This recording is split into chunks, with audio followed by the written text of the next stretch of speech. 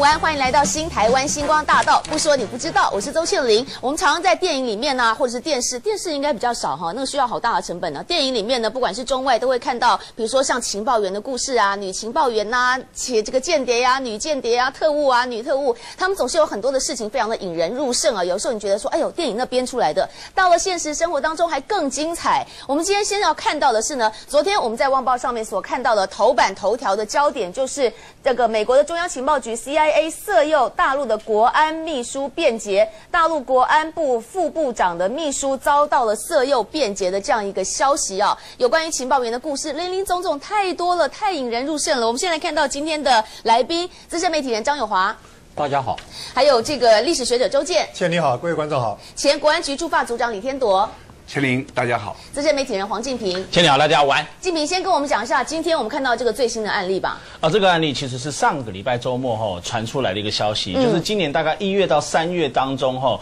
呃，中国大陆的一个国安部，也其实相当于我们这种国安局，反正就是搞情报的特工单位哈，他们有一个这个副部长的秘书，传出竟然是美国中央情报局 CIA 卧底在大陆这个国安部高层身边的一个那个廖北亚。好，负责把这个中共高层核心的一些政治、经济、战略情报后，这几年来通通 pass 给这个美国方面。等一下，可是是美国 CIA 的女间谍，对不对？呃，他其实这个是这个秘书，据说是男生，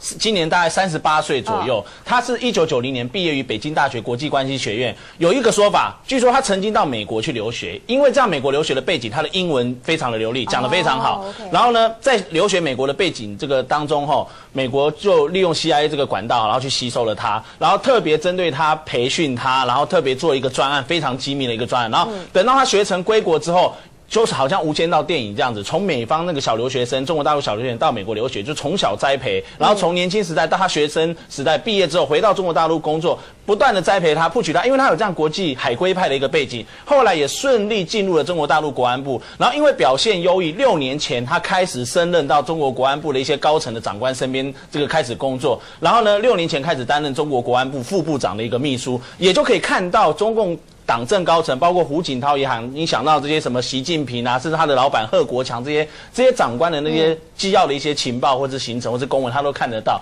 这是一个说法。那另外一个说法是说，他六年前开始变成中国国安部副部长秘书之后，三年前他到。大陆的香港地区去出差，然后因为到香港地区出差，他这个今年三十八岁嘛，然后还是血，虽然不是血气方刚，但是也是那个四十岁以前都算是年轻人哦。那在那个年在那个情况之下，又年轻人，然后到那边出差，然后好像碰到了，感觉自己好像以为自己有艳遇，没有想到美方的 CIA 安插那个女情报人员特工在那个香港有一个间谍在那边，然后色诱了他，所以是西方人嘛，他是拜在一个西方哎等于是中了西西方的美人计中了 CIA 这个美人计在香港，然后因为三年前中了这个美人计之后，这三年来，而且又被 CIA 透过一些手段拍摄了，然后就是有点类似半勒索、半威胁、利诱让他，因为你利诱他，你就给他几十万的美金，好几千万新台币的这样一个报酬，他不断的把情报 pass 给美方。那另外一个方面就是说，哎，让他变成上钩，用美人计让他上钩之后，他就没办法，无法自拔，越陷越深，把这个情报这三年来不断的提供。据说中国高层这个中共高层领导人胡锦涛知道之后非常震怒，下令彻查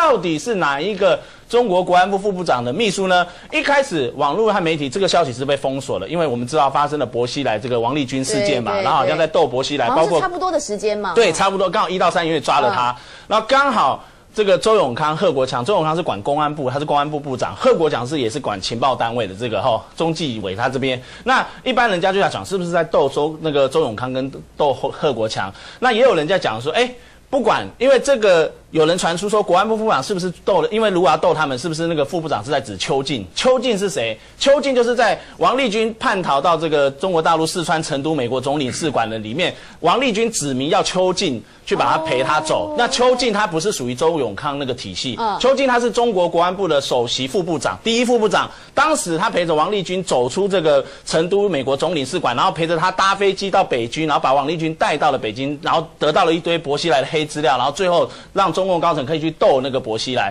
是一个关键的 key man。那有人就在想说，是不是邱进啊？然后角度使走狗烹，然后开始斗完了薄熙来跟王立军，开始搞邱进。那后来有人在查证了之后，哎，好像不是邱进，好像是这个第二个副部长，就是首席副部长，他因为他下面至少有三个副部长，第二个副部长陆中伟，这是陆中伟的一个档案。他两千就是二零一一年去年的时候，他在大陆就是开始当国安部副部长，他曾经是当过中国现代国际关系研究院院长，然后二十一世纪委员会的秘书长，洋洋洒洒的经历，包括他是解放军的一个背景，中国军工学院副会长出身的，一路以来都在做一个情报研习官。不论如何，这个案子中国国安部副部长的秘书竟然被美方 CIA 安插卧底在身边，这是大陆二十几年来第一次最严重的一个泄密事件，而且是在一九八六年后，中国大陆当时爆发了一个中国大陆一个国安部的这个北美处的处长，他叛逃到美国，告诉美国 CIA 说，你们 CIA 有一个高级的情报官哈，情报分析师是中国大陆公安部呃国安部安插的间谍在美方，然后美方就把那个分析师给抓起来了，然后。正要法院判决这个美方的 CIA 也被中国大陆卧底的时候，他就在牢里面自杀。那结果后来这个事件也让中国大陆颜面无关，因为他们的一个这个北美处的处长，中国公安部的也是高级官员，竟然叛逃叛逃到美国，把这个情报告诉了美方。所以这是这十几二十年来爆发算是蛮严重的一个高层，然后身边的人卧底泄密事件。哇嗨呀嗨呀！现在这个卧底泄密便捷都被发现了哈。不过呢，如果讲到西方的有关于特务啊、间谍啊或者情报员的故事，当然。流传最久到现在，应该大家马上会想到，My name is Bond, James Bond 的零零七哈。不过呢，友华前几年的这个李安的电影《色戒》，那时候也让大家大开眼界哈。这个王家之那个时候不是要去色诱易先生，大家白搞了一场，到最后动了真感情，好了，他让易先生给跑了，易先生把他回头给处死了。所以情报员真的完全不能动真感情就是了。情报员非但不能动真感情，况且情报员不能放下他的身份。所谓放下他的身份，那你尤尤其是女性情报员，嗯，像我们刚刚讲，像静平刚刚讲的那个哈，其实，在那个这本书里面叫做《中国间谍机关内幕》啊，它里面各位可以看它最后一集最后一页的跨页，这个跨页就是通通写出来了，最近十年来那个叛逃的名单，各位看一下。从这个叛逃的名单，大概他们认为三分之一都是被色诱的。哦，三分之一，你看哈，都是在香港出事，像那个中联办的秘书，像包含外交部的朝鲜事务特使，还有好国防部外办美大局的局长徐俊平，哈叫做徐俊平，各位看一下，全部都有为好五家情报工作。好，各位看一下这份名单里面，可以看得出来，中国大陆最近很多高官被色诱。当然，不但是中国大陆，台湾也有了。不过这个里面一定不包括那个色戒里面，那个是真人真事改编的嘛，对不对？郑平如的故事就是王家之的故事。如果各位去调查局的话，可以看很完整的档案。只不过是事机不密，啊，事机不密，最后郑平如被枪决，被枪决了以后，陈立夫说他们千方百计把他妈妈接到重庆，然后一路把他带到台湾，然后他的档案现在放在调查局，大概有七十四页，七十四页，哎，对，七十四页的档案放在那边，因为我们曾经却翻阅过，啊，他也有正式公开，然后也正式有表扬，不过呢。要培养一个女间谍，要挑选也不容易，要培养不容易。我们后面会看到，但是这个女间谍既然已经养成了，她已经出任务了。组长，如果说我们随便讲了，比如说王佳芝哈，就是汤唯这个角色，她到了一半，她动了真感情，她不玩了，可不可以？我不想要杀易先生了，我改变心意了，可不可以？不行的啊，这是不归路了。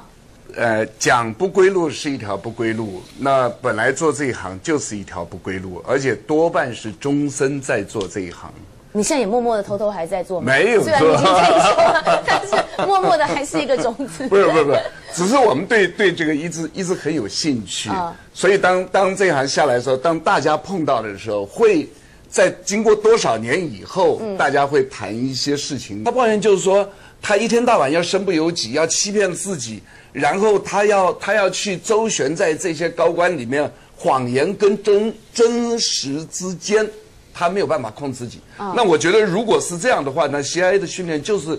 就是不成功的，因为其实在一个一个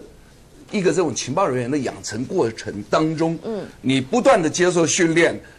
这些所有每一次的训练对你来讲都是一个考核，完了要考核。那么你的心理条件是不是成熟？嗯，你的特工的技巧是不是成熟？那么特别是在如果说要派遣任务了，派遣任务之前。至少有三个月以上的时间是跟外界隔离的。那么其实 CIA 里面一定也有所谓的女间谍，是需要一些比较美色的这个去诱惑人家这样子的一些训练，是不是？对，其实讲到女间谍，CIA 并不是第一个有女间谍的这个情报单位。你放眼世界上目前各个国家的情报机构，包包括前苏联的这个 KGB 也好，或者是现在英国的这个 NI5、NI6 哈，或者是现在以色列的摩萨德哈，这几个包括美国的 CIA，还有甚至像那个呃，我们知道以前东。德前东德的所谓的秘密警察叫 Stasi 后，这几个情报单位从以前到现在，几乎都会大量重用这些女性的特工哦，女间谍哦，因为他们透。透过他们的情报单位都流传了一句话：没有什么事情可以让一个男人在他的床上跟这个美丽的女子讲任何的事了。哦，就是说没有在床上没有任何秘密可言啊。一个男生在一个床上的话，跟那个美丽的女女情报员、女特工，就什么都招了，对，几乎都会不小心都会泄 露出来。你们男人没用啊。所以苏联的 KGB 呢最有名的，以前那个 K 那个前苏联时代 KGB，它最有名的女特工，他们的代号就叫做燕子哦，然后还蛮好听的。然后那个男间谍那个他的那个代号就叫做乌鸦。那以前呢，其实，在早期一开始，就是最早美国南北战争时代就有这种招收女特工了。只是到了一次大战跟二次大战期间后，这个用大量用女间谍变成战场上必须运用的手段。尤其是德国在二次大战期间，他们曾经逮捕了一个这个女特工哈，然后来逮捕女特工之后，就给她两条路选择：第一个，你要去送去集中那个集中营。受到那个战俘集中营虐待，然后凌虐而死，还是说你要你要到那个德国，他们为了呃把所有的女特工聚集起来，变成一个叫极地沙龙的地方？那个极地沙龙呢？那个沙龙讲好听一点，好像我们美法美美容的地方，但是在二次大战德国那个时候，柏林那个时代，它那个时候是是是一种妓院、风化场所的一个地方。那后来抓到了这个女特工呢，就把她派去这个这个极地沙龙，然后由她来主持这个沙龙的一个负责，就是我们讲难听一点，好像特种烟场所的妈妈桑，好像老鸨一样。她选择了这样的一个路，然后去那边之后，几乎都在那个地方作为情报交换。从一九四零年到一九四二年代，那二次大战期间，几乎为德国大量从里面特探取了很多军事情报，还有重要的情资。但是在一九四二年之后，这个地方就被那个英国的一个轰炸机一枚炸弹给嘣一下，所有在那个地方曾经呢，他们在三个月内拿到了三千卷的这个录音带，而且呢，一天平均啊，二十四小时平均都要接客五个客人以上。他们大量取得了情资，后来被英国军方的一个炸弹给轰炸夷为平地之后，他们那个大量的录音带跟情资都在大街上随处可见。这是德国最有名运用它这个当时女特工美人计的最厉害的一个地方。不过这是德国哈，周建老师讲到特务啊，女特务的话，大家还是马上会想到，应该是前苏联比较恐怖吧？对对，那个我想我们念历史的叫做同情的了解，因为搞革命搞情报太乏味了，所以要男生女色调剂身心哈。我是站在第三者立场讲，我们知道历史上有两个行业最古老，一个间谍，一个娼妓。娼妓是人字边，因为古代也有男的。那女字边是歧视女性嘛？嗯。那俄国，俄国我们晓得这个燕子乌鸦已经由来已久啊。他们请一些那个就是怡红院的高阶的有经验的做现场示范的，教那些技巧。现场示范。呃，对，他们是围成一圈的，这有有一些记录哈。嗯。就当场在做。那另外就是他们吃了一种有有可以发出无线电的一些这个小的药丸呢，就是正在办事的时候啊，破门而入好像今今天讲这个安排好的哈，然后可以勒索你。那通常就仙人跳的意思吗？床底下有录音的，当然现在还有录影的设备了。嗯，就是说你你大概跑不掉了，你你一曝光，当然你的前途就没有了。这是也算是老套，近代一直都发生的。不过如果说培养一个女间谍，我记得以前组长讲过，你们要培养一个间谍，没事要什么二十年的一个女间谍，培养完二十年过去，人都老了啦，啊那刚美猴马上回来。